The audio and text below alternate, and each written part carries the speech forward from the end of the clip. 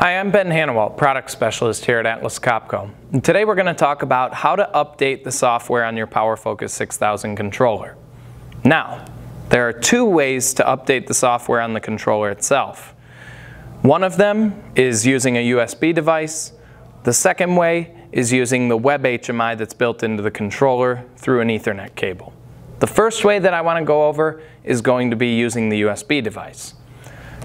So I'm on my computer, I have my USB device plugged in, and you can see I've got all these different items in here. What I'm going to be looking for is a folder that's called PF Images. So you can see right here, I've got my PF Images folder. Keep in mind, this needs to be capitalized. So the capital P, capital F, and capital I are really important because it is case sensitive.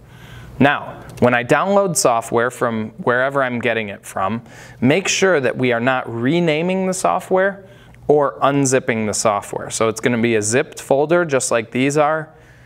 And all of these different softwares are going to reside on my USB device. Now, if I have multiple options in there, then on the controller screen itself, it'll actually give me the option for updating the software. So keep that in mind. I can have multiple softwares on my USB. So I'm going to remove my USB device, and I'm going to walk around to my controller. Now when I get to my controller, I go into the controller tab and I can see that I'm running the 2.78 software. Now, I want to update to the newer 2.8 branch of software, so I'm going to insert my USB. And what you'll notice is, automatically on the screen, it'll show up with all my different options that I had back on my PC. I'm going to find the option for 2.811. I'm going to select it and it's going to ask me if I want to replace the controller software. Now keep in mind, at this point in time, I can actually still hit the continue button and run my tool. So this isn't going to affect production in any way. Now this is going to take about three to five minutes for this software to load.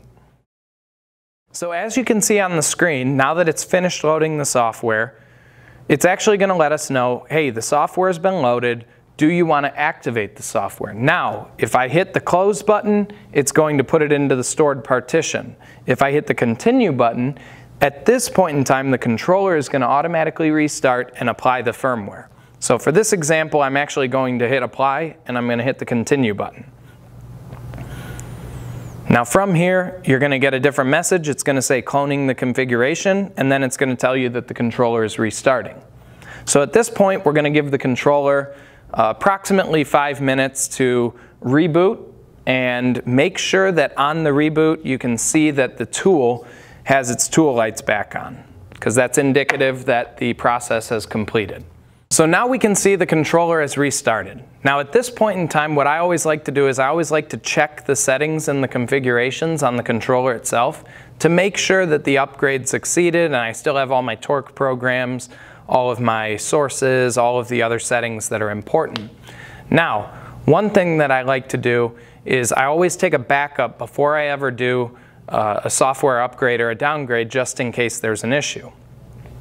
Now, one way that I can tell this controller is done with its software upgrade is it's back to its home screen, but I also have lights on the tool itself where you can see we have the red and green blinking lights. That's merely saying that, hey, the software upgrade has been completed and the controller is repowered back on.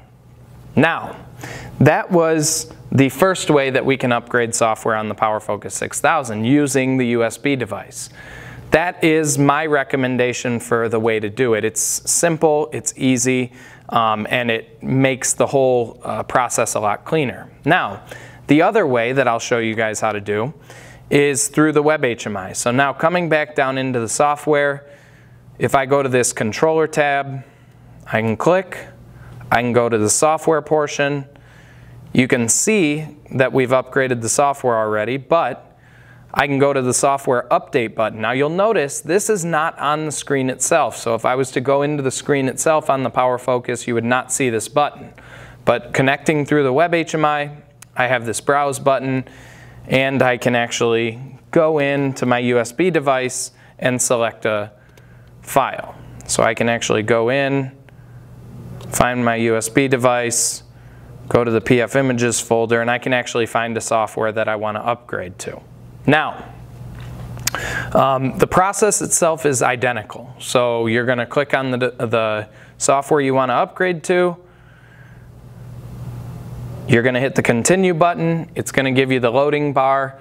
Um, and once it's completed, it's going to ask you if you want to continue or close it. If you hit the continue button, it's going to restart the controller and apply it. If you hit the close button, it's going to put it into the stored version for later use. So, I hope this, this video has been informative for you. Uh, upgrading the software on a PowerFocus 6000 is a common occurrence, so it's important that you understand this process and that we can effectively communicate this to all that are using the controller itself. If you do have any additional questions, please feel free to contact uh, your product marketing team for uh, any further concerns. Thank you.